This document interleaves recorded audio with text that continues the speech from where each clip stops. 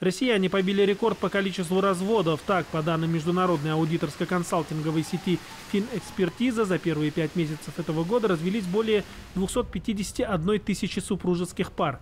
Увеличение за аналогичный период прошлого года произошло на 44%. Таким образом, был побит семилетний рекорд. Увеличились показатели и по городу Улан-Удэ. На текущий год за полгода у нас зарегистрировано 1440 браков, разводов 1062. Если сравнивать с прошедшим годом, то, конечно, количество актов выросло, причем ну, достаточно значительно, потому как на 30 июня прошедшего 2020 года браков было зарегистрировано всего 1072, а разводов 688.